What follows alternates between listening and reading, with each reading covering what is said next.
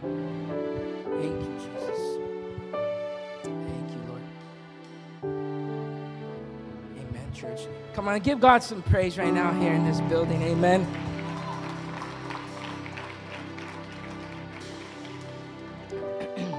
Thank you, worship team. I could just, if you could just play the uh, piano for now, Carlos, please. Thank you. Um, so, amen. I just want to, you guys could be seated. I just want to thank God for my salvation and for what God is doing. I know the students the following week, we just got back from the mountaintop. Amen. It was powerful. It was a great time right now. The young adults, they're at their uh, winter retreat. Elevate. Amen. Ours was upward, right? We're going, we're going all the way up from here. amen. But it's a privilege. I just want to thank God for my salvation.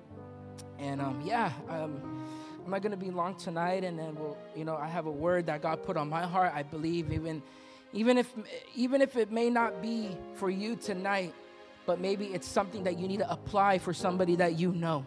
Amen? And tonight i'm going to read if you have your bibles uh, matthew 16 verse 19 matthew 16 verse 19 and just to put a little backstory i mean many many many of us we have probably heard of this scripture but this is actually jesus talking to peter. I i verse 19 really stuck out to me. But in verse 18, Jesus actually says to Peter that now I say to you that you are Peter, which means rock. Upon this rock, upon this rock I will build my church. And it says that all the powers of hell will not conquer it. But what I love in here in verse 19, Jesus tells Peter this, and I believe Jesus is even telling us tonight, church, this for our personal lives, is that, and I will give you the keys, right?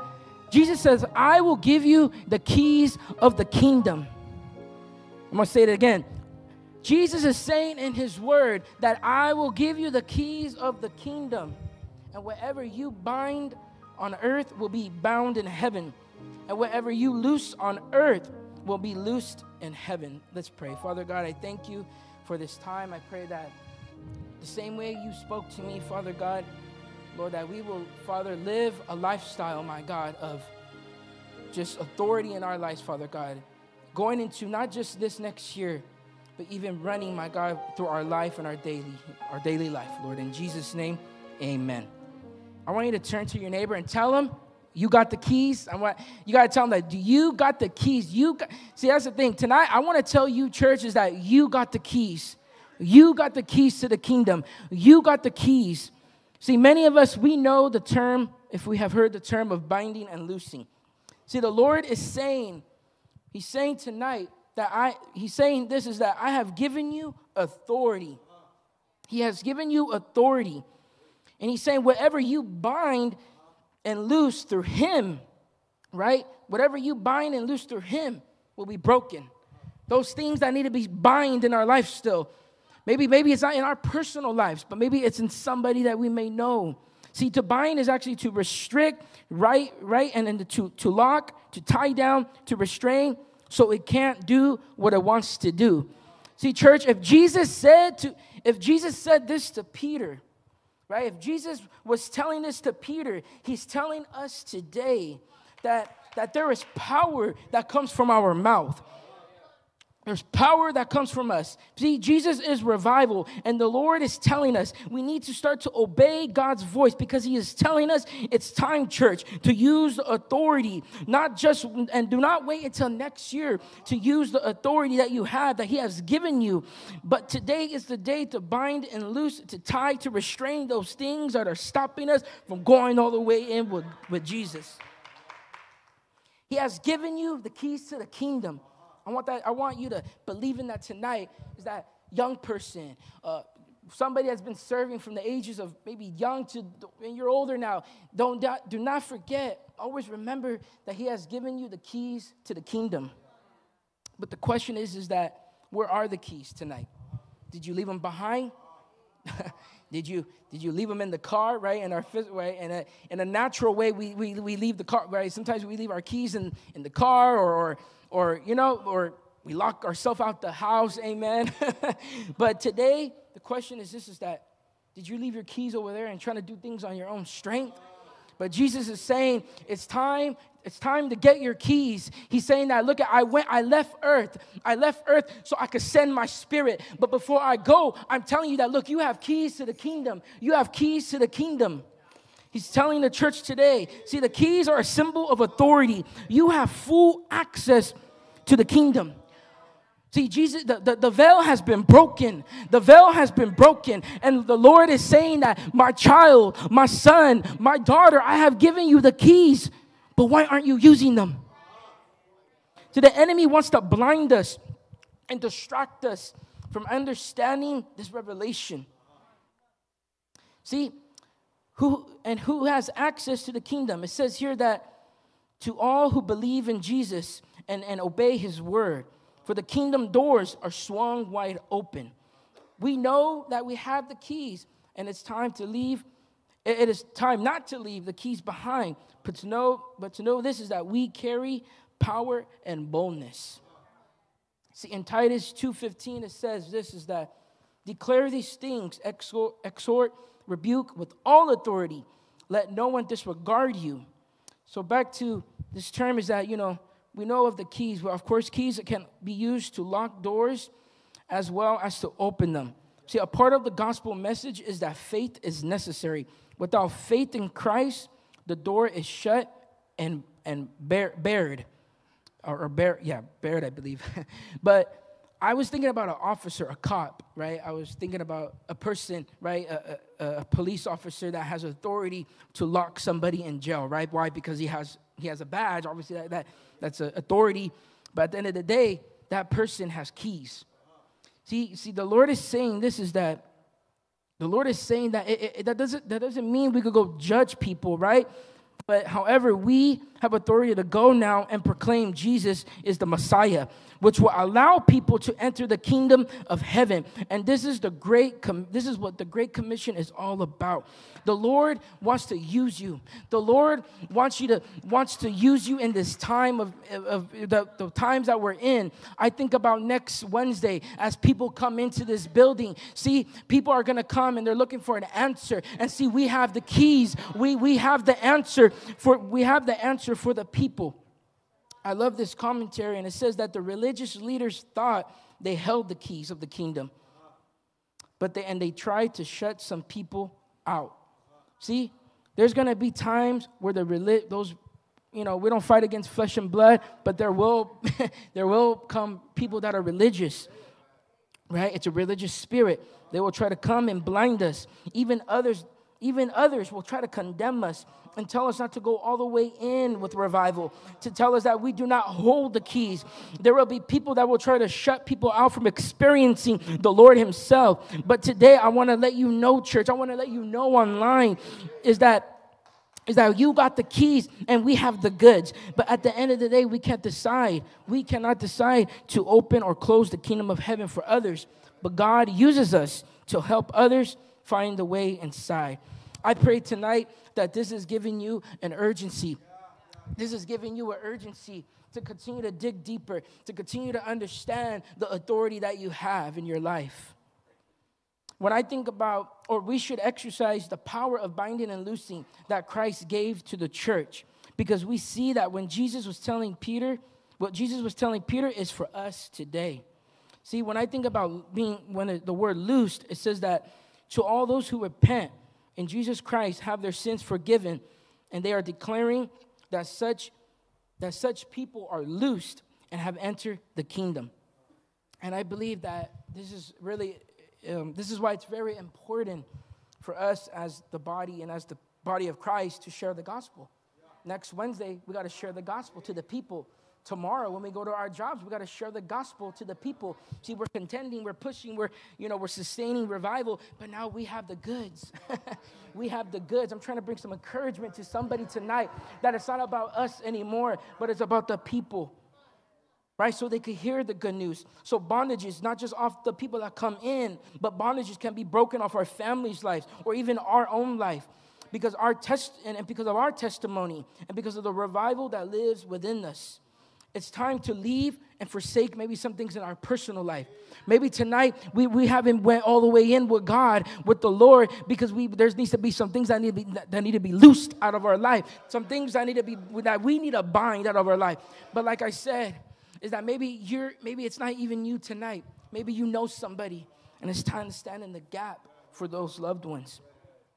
And that's and this is why it's important to use our words, to use our voice to bind and loose, to stand in the gap for those who remain unrepentant, unbeliever, unrepentant or unbelievers, because technically they are bound and the kingdom of heaven is shut against them.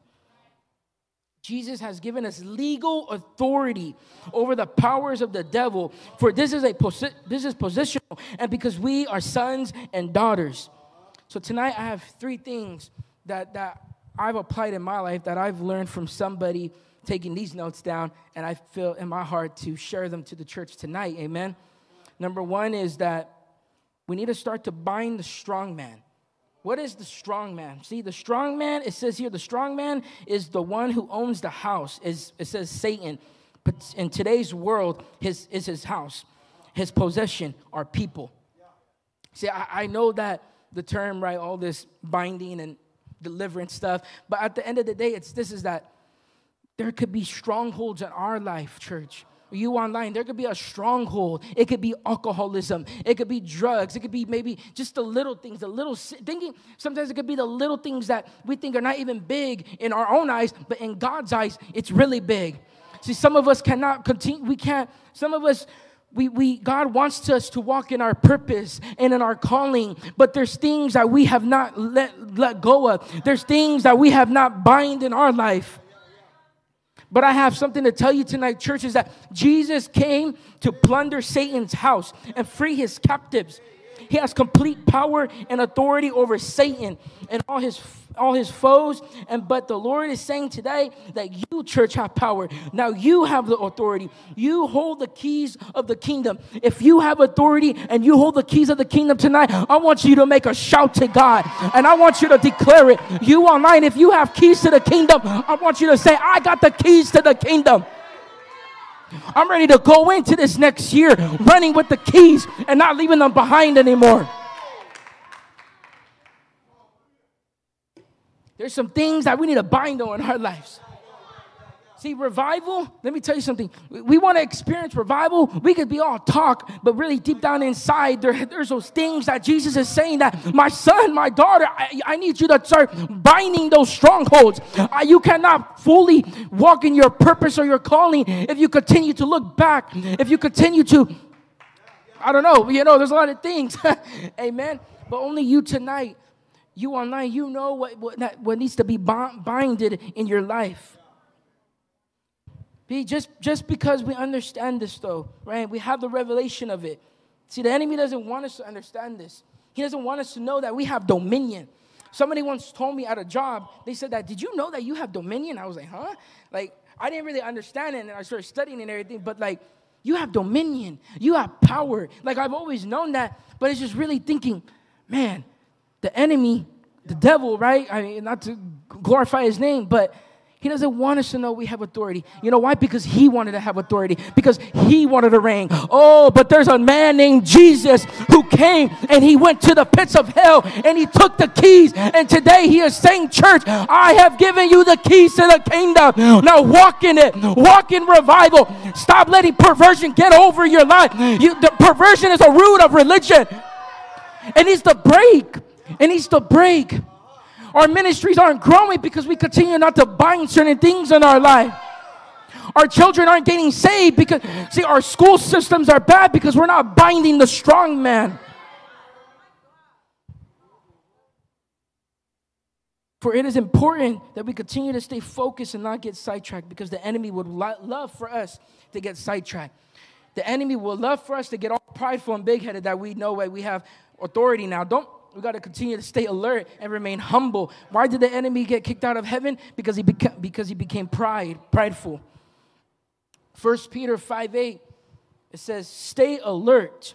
Watch out for your great enemy, the devil, for he prowls around like a roaring lion, looking for someone to devour. See, lions, if you think about it, lions, you know, they in, the, in, their, in, their, in Africa and all that, whatever. But um, they, they attack, right? They don't attack quick, but they take their time. See, the enemy is the same way. The enemy takes his time. He, he, he, he gives you a, a, little taste of something small, right? And or he opens a little door for you, and it's, it's up to us, right? We could go through that door. We could continue to stay alert. We could continue to stay focused. We could have the eye of the tiger. We could we could focus on the king, the king of kings. But that look at here, it says that lions attack those small and weak animals, for they choose their they choose victims who are alone and not alert. This is why it's important to have accountability. This is why it's important to, to be around those that are going to lift you up. It's, it's important, even going into next year, getting around those that are going to help you, that will pray for you, and most importantly, it's taking every thought because when that person isn't with you, when your leader isn't there, when the pastor isn't calling you or he doesn't return your call, it's important to continue to understand that look, I, I cannot be I, I can't be held like a baby no more, but I gotta continue to be alert and understand the principle of living the word of God out and understanding that it's time to bind those strongholds in my life. It's time to take every thought captive. See, in 2 Corinthians 10 4 and 5, here Paul is actually defends, Paul defends his authority. And he says that in, in 2 Corinthians 10 4 5, it says that we use God's mighty weapons, not worldly weapons, to knock down strongholds of human ren- renouncing and to destroy false arguments. We destroy every proud obstacle that keeps us from knowing God we capture their rebellious thoughts and teach them to obey Christ. It's simple. Tonight is the night to really maybe dig deep into your mind. See, sometimes we don't, we just want to go about our days, but tonight it's the night. Today is the day to understand this. Understand that it's time to bind that strong that mindset, because it starts with the mind. It's our mind that is telling us that we can't, we don't have a purpose. It's our own thoughts, it's our own, it's our own emotions. But the Lord is saying that we don't use worldly weapons, but we use supernatural weapons, right? We use our words. We, we, we, we know that we, we sit above with Christ, we sit in the heavenly realms. See, Paul assures us that God is might, God's mighty weapons, right? Important, and the important ones are the influence of prayer, faith, hope, and love and God's word and the Holy Spirit are more powerful and effective. See, we want to bind that person next to us, but really, why are you going to bind that person? We're supposed to have we're supposed to have unity in our church. We're supposed to love each other. We're supposed to welcome people, even the backslider. We're supposed to welcome them. We're not supposed to talk down to our brothers and our sisters, but we're, at the end of the day, know this. At the end of the day, I'm not fighting against flesh and blood, but I'm fighting but, but against the principalities, right? and the powers of this dark world. And, sec- and secondly, so first of all, is it's time to start to bind the strong man. And you, you, it's time to bind the strong man in our life. It's time to go to ask God, God, what is it that, that needs to be? I want to walk fully in my calling. I want to walk, you know, I know, God, you have a purpose for me, but there's just some things that are holding me back. And you got to let that sink in tonight. What is holding you back? You got to think about it. Like, what, what is it? Like, why can't, why do I, the, you, the thing is, we have to break the cycles. I, I love that, um, yeah, we just got to break the cycles. When I was over there at the winter retreat, Pastor Daniel from uh, the UTC director in Amsterdam, he was pretty much preaching a message, you know, about upward, you know, we only go up from here, no turning back. But what I got out of it is that breaking the cycle, right? I mean, obviously, he brought it to a level where young people will understand God just showed me you got to obey, Mario. like, man, I have to go all the way up there and to hear him say, you obey. No, but, right? I mean, but breaking the cycles on our life, breaking the cycles. But we see, we, we have authority. We understand that we could bind the strong man, but we cannot do it least if we bind and pray and power. It, that's the second point is that bind and pray and power. It's time to devote ourselves to more prayer. It's time to have a, have a hunger and, and, and, a, and just a longing to be in His presence more. Devoting, right? In Colossians 4 2 says, Devote yourself to prayer with an alert mind and a thankful heart. It's time to continue. That's why you hear our pastor when he's up here, he's like, pray, pray, pray, pray, pray. You know, because we're trying to break the atmosphere. Amen. We're trying to, we're trying to train, we're trying to equip. There's people, there's people that come in, and, we can't have leaders and, and, and a church that is just dry in prayer, but we gotta have a church that's dripped in oil, that, that is understanding the principle of prayer, of I'm devoting myself to prayer. But you're in the secret place, and when you come to the house, then you're understanding understanding the principle. And then when the people come in, you're going to be able to pray for them. You're going to be able to stand in the gap for them. Because sometimes we come in and we're the ones that are supposed to be devoting ourselves to prayer. But then, but then we feel the heaviness. We feel the heaviness. But I encourage you, devote yourself to prayer. Even find some people to get with for prayer. See, in Acts 12 5, it says, So Peter was kept in prison, but the church was earnestly praying to God for him us as believers, we, we may see the impossible situation, but even here in this verse, they took prayer seriously and they gathered to pray earnestly unto God. I pray that tonight that you understand that I cannot do nothing on my own strength and no more, but I can only do it with the, with the power of prayer. He has given you power. He has given you, he has given you the resources. And one of them is, is prayer is getting back to a place of prayer. See, no prayer, no revival, right? No, you got to have a lifestyle of prayer. You got to live a life where that you're at your job, you're praying. But even even praying for your loved ones, praying for your family member, praying that that that, that sickness is loosed in the name of Jesus. Believing believing that that your children will be set free in the name of Jesus. And thirdly, and this is my last point tonight, is that as we start to understand, as we know that we got the keys, right? We could bind the strong man in our lives. We bind and pray in power.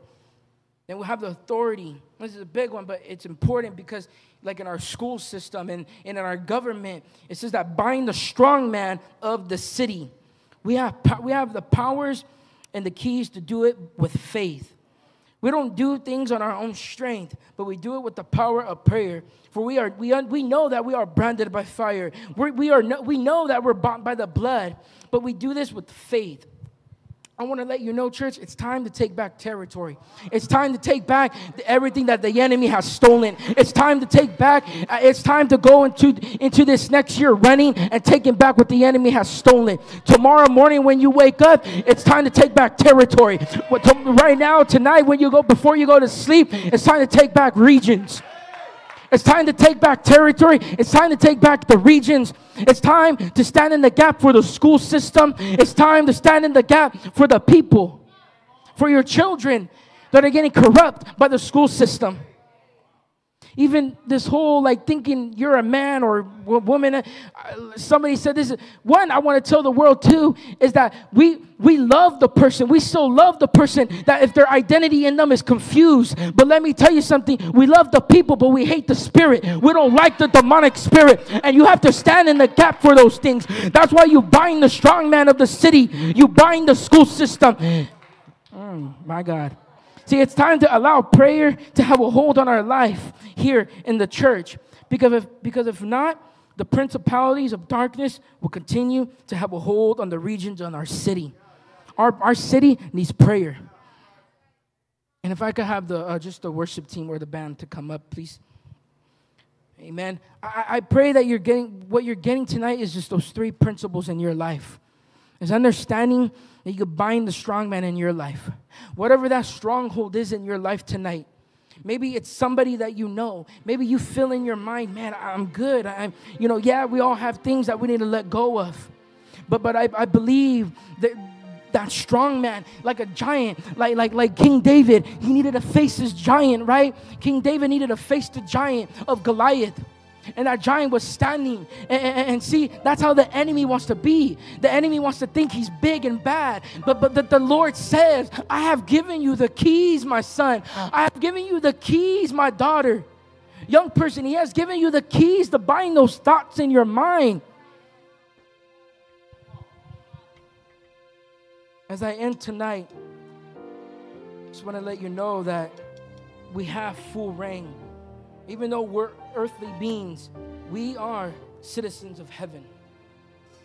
It is time, it is time to be loosed from generational curses. Come on, somebody. It's time to be loosed from those generational curses.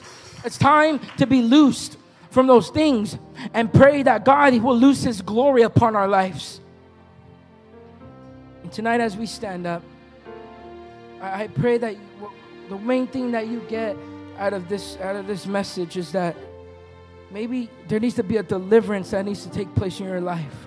Maybe there needs to be freedom. You are delivered, but but but sometimes there could be things in our in, in our minds that we're not fighting against. We want people. Somebody told me one time I could pray for you. I could, you know, shando all over, you know, pray over you and everything. But at the end of the day, when you go home, when you close that door, it's just you and God. And sometimes your enemies will come. The enemy, your enemy will come. See, the enemy is at the door standing and he's knocking and he's knocking and he's knocking. Some people have turned and opened it and they went all the way in with him.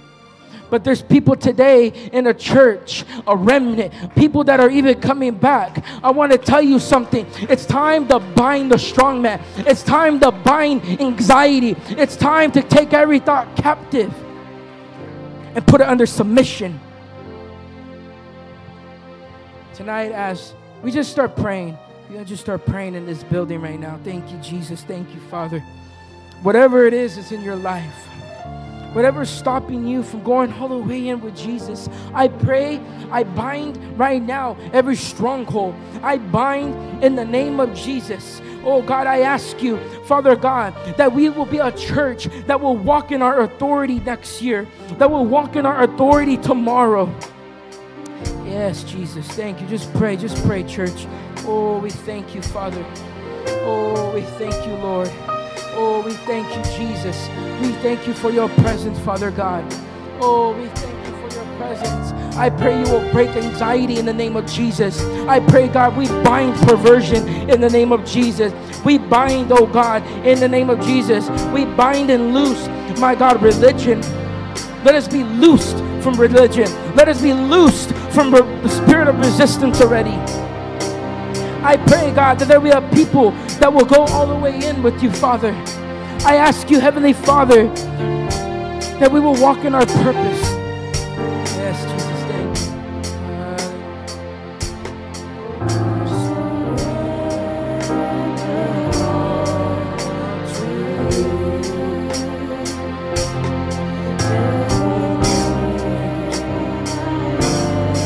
Now, the altars are open. If you feel that you got to just lay out the altar, come and lay out the altar. Ask God that, Lord, I need deliverance in my mindset. I want to be set free. Then tonight you got to speak. You got to use the authority that you have. Thank you.